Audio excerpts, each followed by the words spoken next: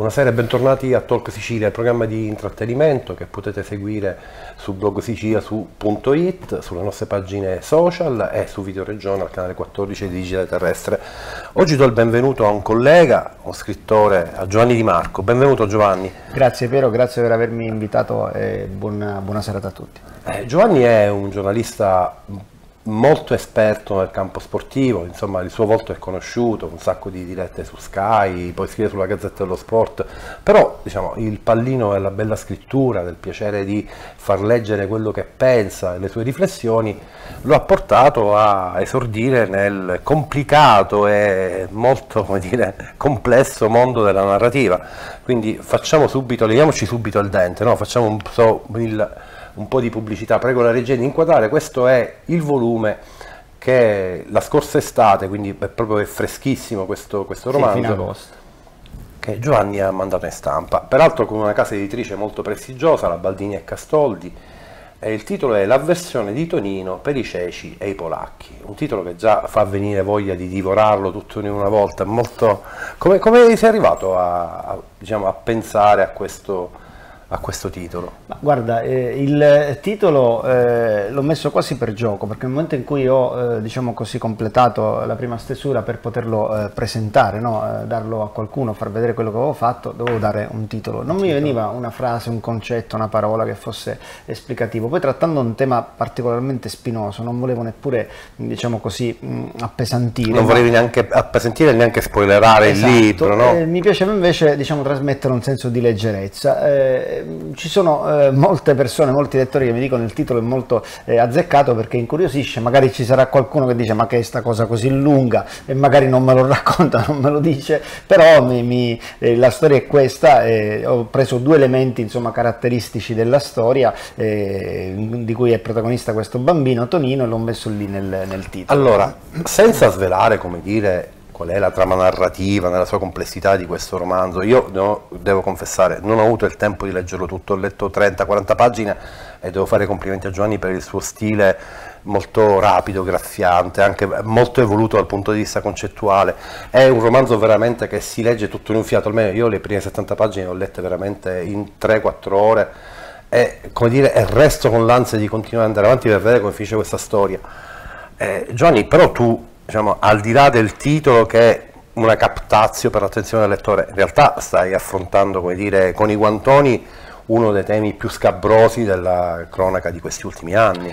Sì, perché parliamo di eh, chiesa e di eh, pedofilia. Il protagonista è appunto eh, un bambino, Tonino, che mm, ha sette anni e mezzo quando rimane orfano di mamma e, e da lì a poco insomma, subirà le attenzioni morbose del prete del suo paesino. È una storia fittizia inventata, ma è, è ovvio, Che però insomma, pesca a piene mani da sì, fatti di cronaca, no? Esattamente, purtroppo le pagine dei giornali negli ultimi anni si sono riempite troppo spesso di episodi del, eh, del genere. Mm, da un lato è un romanzo di formazione perché assistiamo alla crescita di eh, Tonino, che eh, subisce eh, gli abusi da parte di questo eh, prete, eh, mh, riuscirà in qualche modo insomma, a tirarlo fuori dalla situazione, una vicina di casa eh, che gli farà quasi da seconda mamma, mh, si chiama Tania, e, capirà quello che sta succedendo a Tonino e quindi così lo, lo, lo, tirerà fuori dalla, da questo enorme dramma in cui finisce, però poi c'è anche la parte del, del, del trauma da superare, trauma che difficilmente difficilmente si supera, anzi forse non lo si supera mai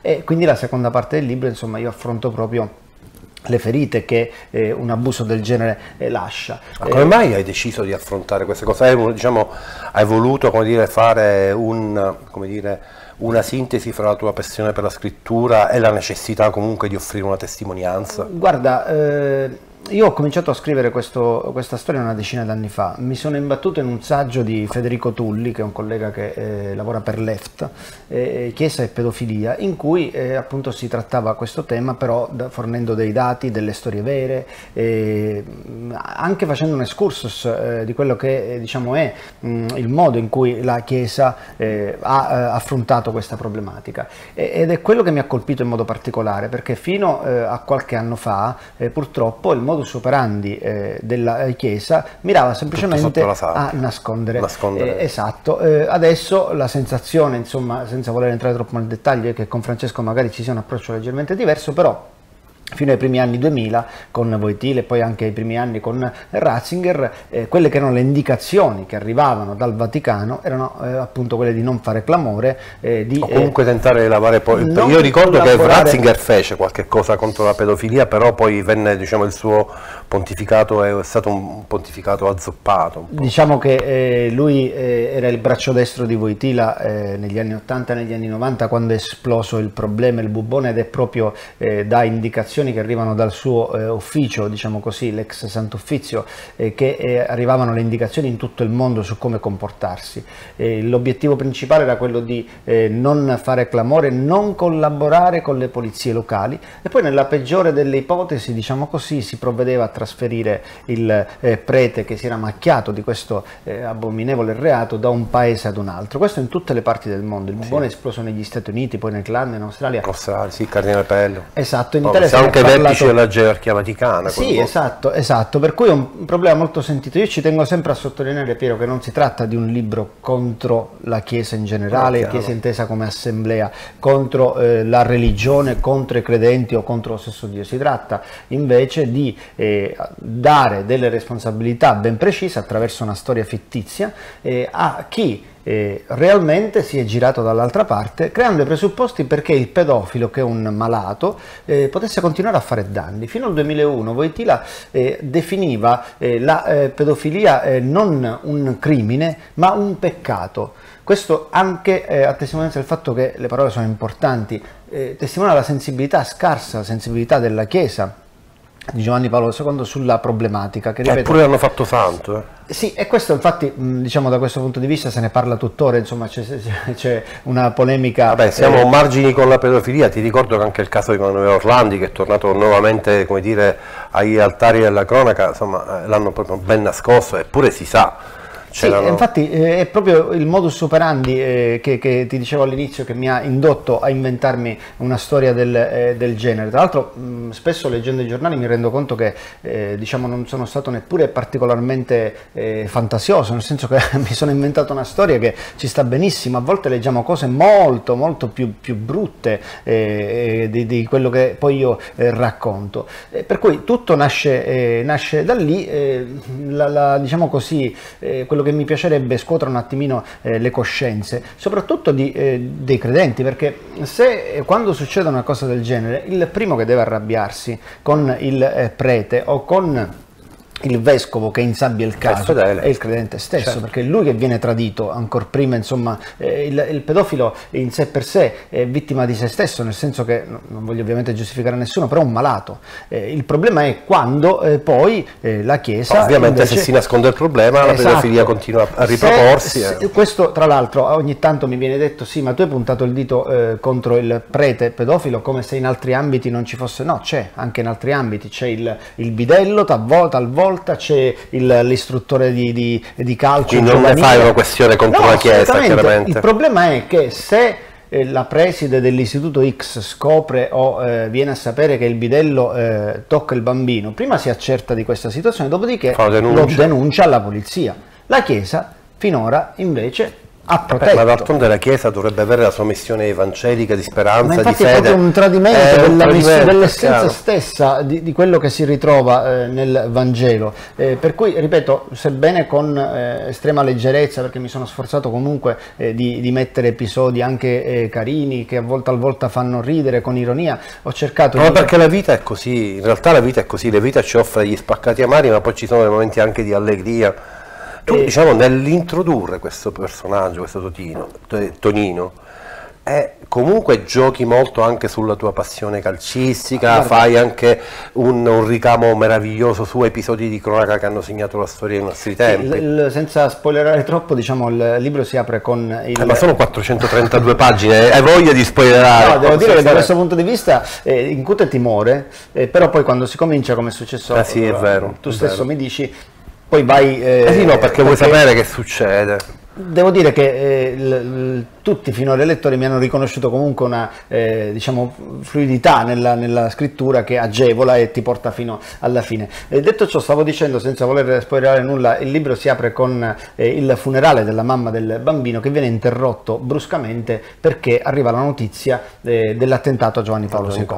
Eh, viene interrotta la messa per cui il bambino non capisce per quale motivo in un paesino piccolo come il non suo... Non si parla più di sua mamma, esatto, ma si parla del padre. Viene data tutta questa importanza. E questa è la versione per i polacchi. Esatto. È la versione per i ceci. ceci che, che ciò, quasi questo siamo a un passo all'eresia, essendo palermitani, perché il, il, cecio è il legume, come dire, no, che è il brand palermitano. Allora, dal, intanto, dal, cecio arriva la panella. Intanto eh, mi si chiede spesso se è una versione che ho anche io. No, no. Eh, io li mangio e mi piacciono. Semplicemente la sera in cui eh, c'è diciamo, il funerale, eh, la zia gli propina una minestra di ceci, ceci e il bambino... Eh, Poi ovviamente collega al, alla mancanza della esatto. mamma i ceci e il Papa ovviamente. Esatto, e diventa eh, questa... Però questa presenza del Papa cioè, l'è, strutturato dal punto di vista subliminale, strutturando la presenza del, del, diciamo, dell'episodio del Papa per poterti poi ricollegare alla vicenda della pedofilia sì, della Chiesa. Quindi c'è un costrutto allora, logico che... Mi serviva eh, creare un personaggio eh, diciamo, che avesse una mancanza affettiva, mm.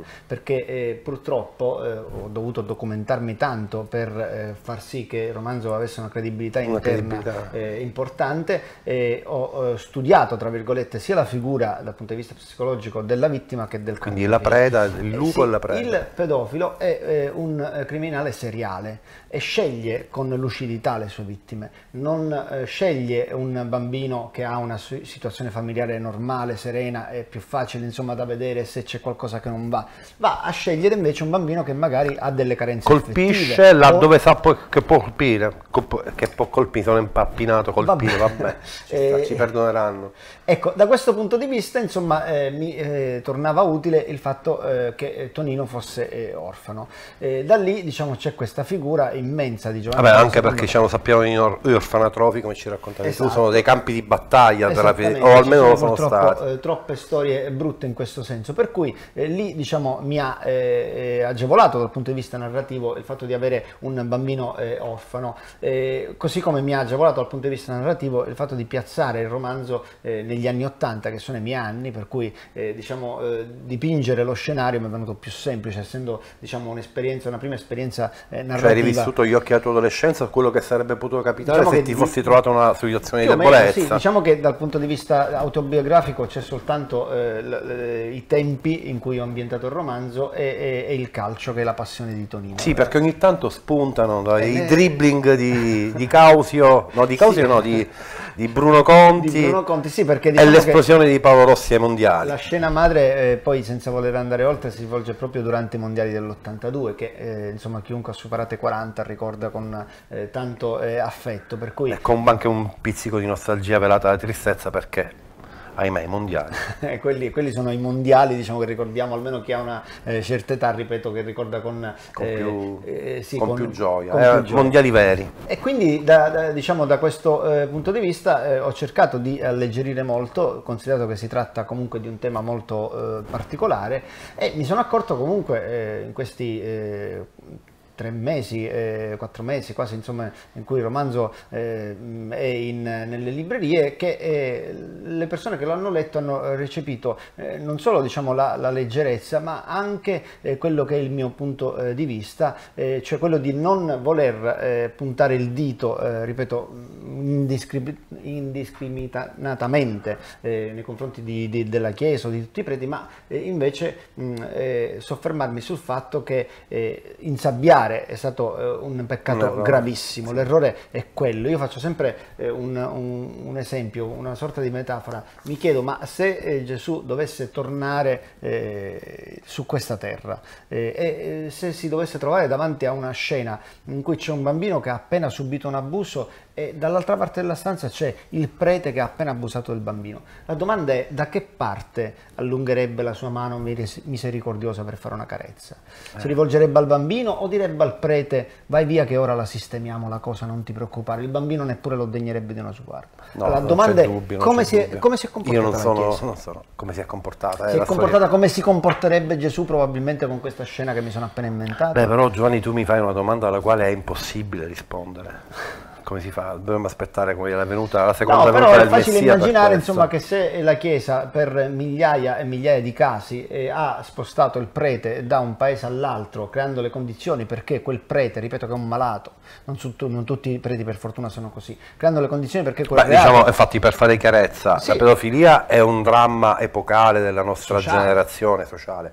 Però, diciamo, il, il- numero di persone, i- di pedofili, non è un numero così, cioè, si potrebbe intervenire anche sul piano eh, giudiziario in maniera più, più pervasiva. Se ci fosse la collaborazione da parte... Dovrebbe esserci una collaborazione molto più stretta tra lo Stato e il Vaticano. Il Vaticano da un lato... Anche eh, questa è una dovrebbe- vecchia storia. Esatto, dovrebbe cambiare totalmente atteggiamento e quindi eh, Eh, ancora chiedere non, di non collaborare. si sa la verità sul caso Sindona, figurati po', esatto, infatti da questo me. punto di vista insomma, eh, la Chiesa purtroppo ha tempi troppo eh, lenti. Dall'altro lato lo Stato... Eh beh, ma d'altronde sono i tempi di Dio, loro, come dire, non... Dall'altra parte però il- lo Stato italiano dovrebbe fare come hanno fatto altri eh, paesi in eh, Europa, Eh, se tu permetti al vescovo eh, che eh, può essere diciamo, in contesti del genere mh, eh, in qualche modo investito eh, come un pubblico ufficiale, fai sì che il vescovo possa denunciare il prete. Quindi da un lato deve esserci la possibilità, la legge che ti permette di fare una cosa del genere, dall'altro lato ci deve essere la collaborazione del Ah, poi molte volte Vaticano. i- questi reati si commettono in territorio extramenia, quindi è anche difficile un intervento delle forze dell'ordine, No, della no, polizia giudiziaria. È è molto tutto complicato, per carità. Devo dire che anche eh, diciamo, le, le famiglie eh, hanno un approccio diverso. Io c'è una scena, eh, descrivo eh, diciamo così, l'atteggiamento che potrebbe avere eh, la zia che eh, diciamo, dove va a vivere il bambino una volta rimasto orfano, se... mh, se avesse scoperto quello che stava succedendo, probabilmente gli avrebbe detto stai zitto, ma che vai dicendo? Ma- Ma c'è ancora questo velo di omertà, piuttosto che Sì, ma, per eh, non far cadere discredito sulle famiglie Sì, si me sì, tende a perché- nascondere il problema. Sì, perché la vergogna e il senso di colpa superano qualsiasi, eh, qualsiasi altro sentimento. La vergogna è troppo forte. Se subisci un abuso del genere, sia da genitore, ma soprattutto tu che l'hai subito, fai molta fatica a raccontarlo. Io faccio sempre l'esempio di eh, Francesco Zanardi, che è il eh, presidente dell'associazione Rete l'Abuso. Eh, lui è- è- è- ha subito degli abusi da ragazzino eh, e, e ha impiegato vent'anni per elaborare questo abuso No. e per denunciare. Quando si è deciso ed è andato eh, dalla polizia a denunciare quello che gli era successo, la polizia gli ha detto "Eh, ma dopo dieci anni va in prescrizione, non ti possiamo aiutare più. Ecco quando ti dico lo Stato deve aiutare, può- cioè tu per elaborare una cosa del genere ci- puoi impiegare pure 30 anni e non può passarla franca. Francesco Zanardi, che è eh, davvero una persona eh, ammirabile da questo punto di vista perché è molto cocciuto ed è andato avanti e ha portato avanti la sua battaglia eh, da- di fronte a tutto e a tutti, è andato a cercare altre vittime dello stesso prete che avevano subito l'abuso entro i dieci anni, li ha convinti a eh, denunciare il prete alla fine l'ha fatto arrestare. Ma eh, cioè, quante persone avrebbero avuto... eh, Ma devo dire che noi in Sicilia comunque siamo abbastanza all'avanguardia su questo tema, perché se non sbaglio c'è il meter di Don Di Noto che Diciamo, funziona, no? sono- eh, adesso non lo so, eh, Telefono azzurro che penso che sia mi auguro comunque... che, che- che funzioni, però dico, eh, la, la Chiesa sicuramente dovrebbe fare molto eh, di più eh, in- sotto eh, tanti punti di vista. Cioè la Chiesa non è tutto, questo diciamo va No, da no, sé. per carità, infatti l'abbiamo specificato, ci mancherebbe altro, però purtroppo non possiamo dire che è una cosa che rigu- riguarda diciamo, il passato perché non è così. Negli ultimi ehm, roba di, di- di- di questi mesi a Piazza Armerina c'è, c'è stato un caso di un prete che ha abusato però di ti un faccio una ragazzo domanda a eh, ai domiciliari, non- il diciamo- vescovo l'ha coperto, cioè, stiamo parlando del Allora, 2020. questa storia è ambientata negli anni Ottanta, ovviamente a te serve per dare come dire, un tessuto narrativo, dare un contenitore, per spiegare anche qual è la sofferenza di chi subisce un abuso e quanto è difficile la discovery di questi fatti. Ma questi fatti, se accadessero oggi, se lo scenario non fosse quello del mondiale dell'82, ma quelli del mondiale del 2022, cioè con tutti gli strumenti tecnologici, il bambino abusato è in una situazione di maggiore eh, pericolosità, di, di- diciamo, è, è più grave, è più difficile denunciare? Allora, io, eh, Perché dico- io ho la sensazione che i social non siano la panacea di tutti i mali, ma che probabilmente possono far diventare normale anche un cattivo comportamento, un cattivo esempio. Questo, eh, su questo non, non c'è dubbio. Io dico che eh, il, eh, internet, i social eh, hanno aiutato anche i, i, più giovani, nel senso che eh, oggi magari determinate storie eh, le conosci eh, e le vieni a sapere anche attraverso i social, attraverso internet. poi è chiaro che eh, dipende dall'uso che se ne fa di, di questi strumenti. però io quando avevo dieci anni... Però molti adescamenti 80, avvengono sì, proprio in quelle reti anche, per certo, i minori. Certo. Cioè genitori non lasciate il tablet quello ma la vostra sì, figlia senza quello, quello assolutamente, la, la funzione del genitore è fondamentale. Però quello che intendo dire io è che negli anni 80, eh, se mia madre non mi spiegava come funzionavano determinate cose, io come le dovevo sapere, eh, in mezzo alla strada. Eh, adesso magari hai uno strumento in più che eh, può essere anche internet se i genitori ci stanno sopra per eh, conoscere il pericolo. Cioè mh, su internet si può sia cadere nella trappola ma anche venire a conoscenza del fatto che Tizio padre X certo. è stato trasferito eh, da è un più. paese all'altro perché c'è eh, un'indagine a suo, a suo carico. Quindi da questo punto di vista diciamo non è vantaggi e svantaggi esatto, si equilibrano si dipende dall'uso che se ne fa. dipende dall'uso che se ne ne fa e soprattutto eh, dipende dal contesto Allora, caro Giovanni, cui, il tempo, tempo, tempus fugit, dicevano i, i latini. Allora, eh, io diciamo, faccio un appello, come dire, a tutti coloro che ci seguono e non lo faccio soltanto perché Giovanni è un collega, è un amico, è un ottimo scrittore. Allora, secondo me questo è un romanzo che vale veramente la pena leggere, prima di tutto perché per i cinquantenni come me c'è un ritorno al passato, ci sono delle emozioni, delle nuance di quelle che sono state le nostre passioni. Però Giovanni ha il grande pregio da narratore di raccontarci una storia che non fa sconti a nessuno, di raccontarci una storia che comunque è terribilmente attuale ed è per questo che io, come dire, e non so se sia corretto farlo davanti a una telecamera, io invito tutti a comprare il libro di Giovanni, leggerlo. Poi magari, visto che noi comunque siamo anche una, un programma social, quando l'avete letto fate, nostri, fate, i vostri commenti, dateci la vostra opinione, perché credo che Giovanni sia molto aperto anche a accettare critiche, a seguire riflessioni, anche perché... È, è, ha impiegato dieci anni per compiere questo sì. elaborato, per realizzare questo per elaborato. trasformare il manoscritto in un libro, che sono due cose. Sì, è un'opera molto complicata, cioè veramente è complicato. Poi mettere nero su bianco tutto quello che si pensa. Eh, trovare una casa editrice, la fase di editing, insomma tutta sì, la cura sì, che serve per tutto, trasformare, tutto ripeto, un plico di fogli in un Però in veramente ne, ne, vale la pena. È anche un buon regalo di Natale, anche in ritardo, da fare alle persone che volete bene, perché a Natale si devono fare anche regali intelligenti e questo libro è sicuramente un regalo intelligente. Giovanni, io ti ringrazio del tempo che ci hai dedicato, in bocca al lupo per i tuoi successi professionali. Sono io che ringrazio, Una promessa, il prossimo libro, insomma, lo presenterai pure da noi, no? Ma non posso tornare se vinco qualche premio. Eh, incrociamo il crossfinger allora. Assolutamente sì, noi facciamo il tifo per Giovanni. Sto scherzando, dico ma, però sì, ma partecipa, a volte le case editrici partecipano anche a dei, eh, dei premi per opere prime. Eh, però eh, tu è l'opera prima di Giovanni. Esatto, quindi... io ho dato qualche input, magari capita, magari sappiamo, capita. Vabbè, grazie Giovanni, grazie, grazie che ci ha, ci ha seguito questa puntata di Talco Sicilia, arrivederci alla prossima puntata.